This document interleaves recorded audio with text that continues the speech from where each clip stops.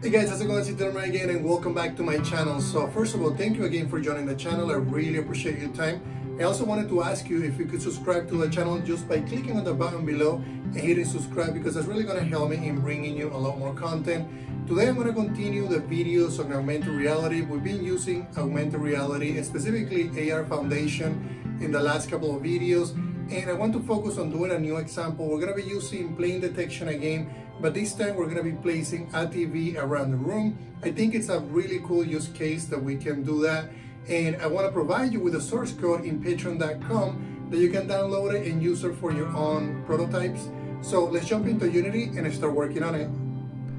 Alright guys, let me show you what we're gonna do in this video and walk you through the example that I already created, which is an example that allows you to place a TV anywhere in your area so the way that this works, this is using the same implementation that I showed you previously where I'm doing plane detection to detect the floors, to detect the walls. So if you haven't watched those videos, make sure that you watch those before you proceed and learn this one because those were those ones are going to be the fundamentals of learning how to do vertical or vertical or horizontal detection in, in augmented reality. So what I'm going to do is I'm going to show you the setup that I did and, and what I have right now, which is a very simple welcome screen. I'm showing you what you need to do in order to get this experience going. So I'm telling the user that they can place TVs in AR, following the steps below. So I'm telling them they need to move the device around to map the area, and then they need to touch and release to place the new TV. And then if they touch on existing TVs, they can change the position. Some of the implementation here doesn't work 100%, but this is going to give you basically a starting point so that you can drop in any type of video and place it in augmented reality with your device. All right, so that's basically the welcome screen and that is right here in the canvas is pretty straightforward.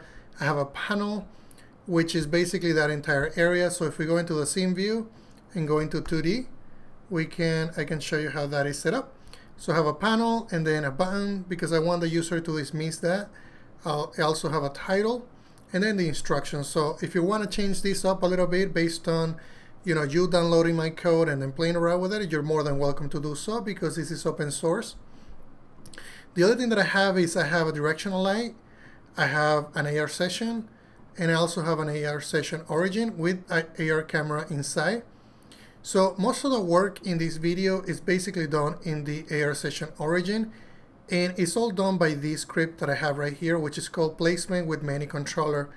The reason why I call it placement with many controllers is because I want to use this for other things. I may want to use it to place different objects. In this case, I only place, I'm placing two TVs, and that's what you're seeing right here. The, the way that it works is this is an array of place prefabs. I have one TV here, I have another TV here. I also have a reference to the welcome panel because I need to dismiss that and I need access to that. And I also have the max number of TVs.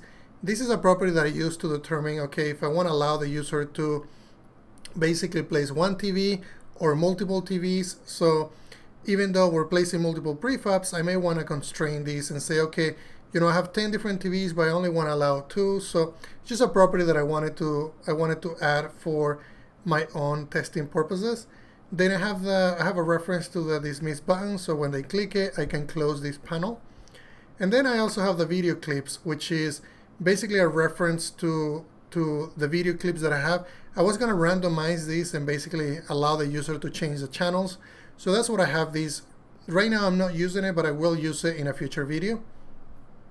Okay, so how does this work? How do we actually render a TV in Unity? And, and the reason why I wanted to do this because I wanted to see how a TV will look if I do it in augmented reality. So let me show you the TVs and what the setup is. And all the TVs is basically a cube that I have resized. So if I go ahead and place it here, and let's go into 3D, you're gonna see that the TV is basically just a cube. And I been I scaled that cube to look more like the resolution. It basically has the size of the the, the video that I have.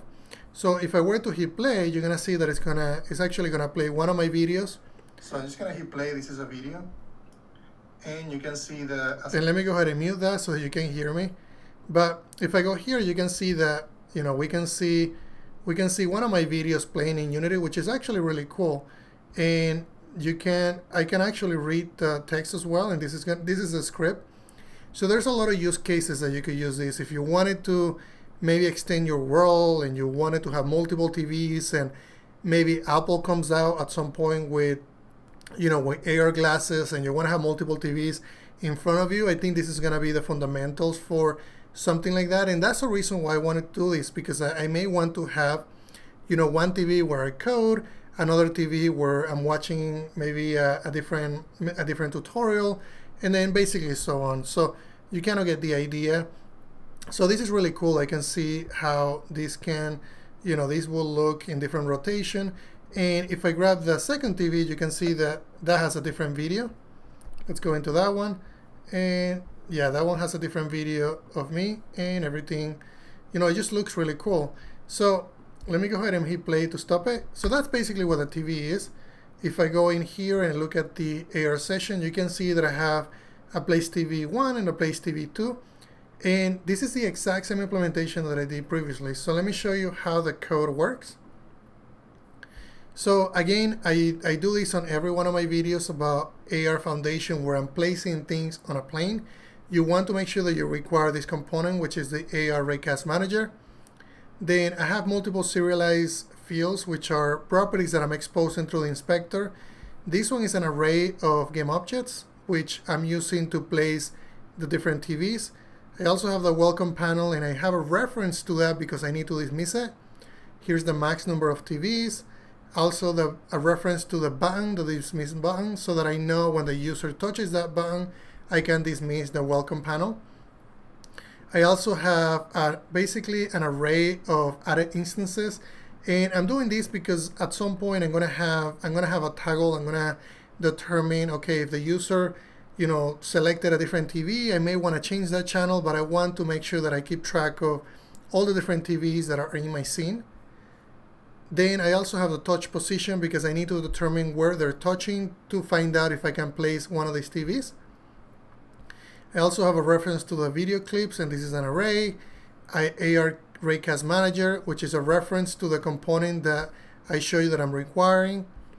And then on the awake method, it's, it's very straightforward. I get I basically get a reference to the component, to the AR Raycast component, and then I also add a handler. Basically, I pass this dismiss method to this listener so that I know when they click on the dismiss, I'm gonna basically disable that panel.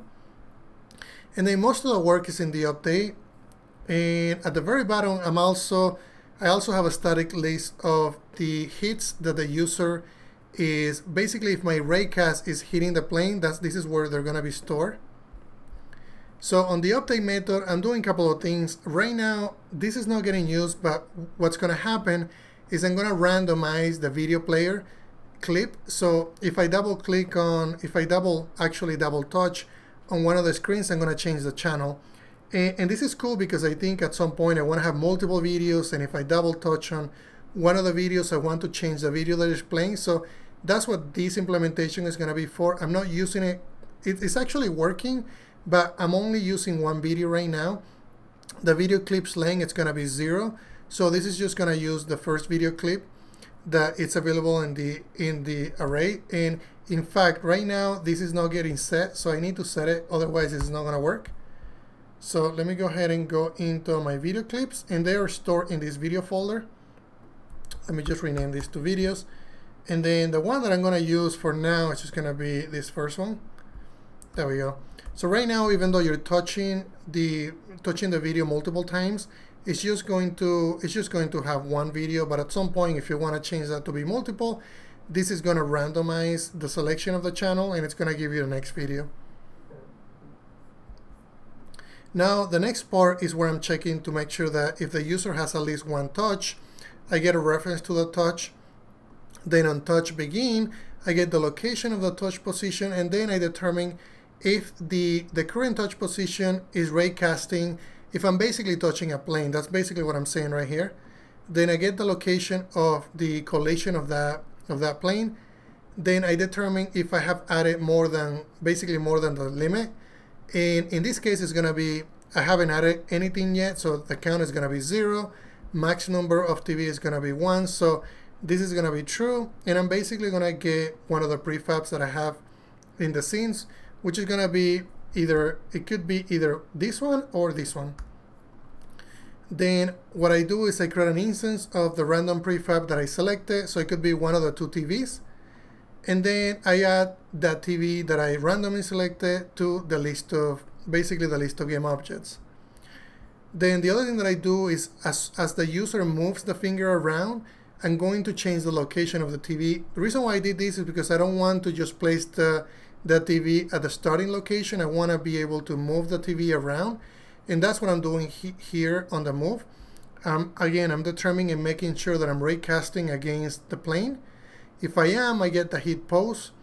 Then I determine, okay, if I have added at least one TV to the screen, I get the last added TV and then I change the position and the rotation based on the hit pose.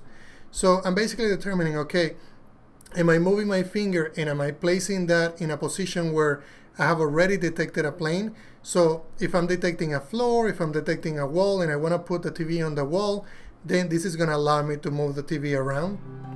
And, and, that's basically everything in this in this video. What I'm going to show you next is how it actually works and how it runs in my phone. So let's jump into that and, and I can show you how that works. Alright guys, so this is the scene that I created and this is running on my phone right now. You can see how that looks. I put it on the wall and I can see the code on the wall and actually move things around. So that's how that works and I hope you enjoyed this video as much as I did going through it. Alright guys, thank you very much for watching this video. I really appreciate your time and if you have any questions, please let me know. Also be sure to check out GameDev.net because they have amazing resources for game developers. Either you're starting out or you're an advanced game developer, they have resources for you. They also have great forums where you can actually ask questions about anything that is related to game development. There's a lot of people in there that are willing to help you, so make sure that you check them out. And also find me in patreon.com where I'm basically posting information about what I'm doing behind the scenes. And I'm also posting early access to source code in patreon.com. Thank you very much, guys.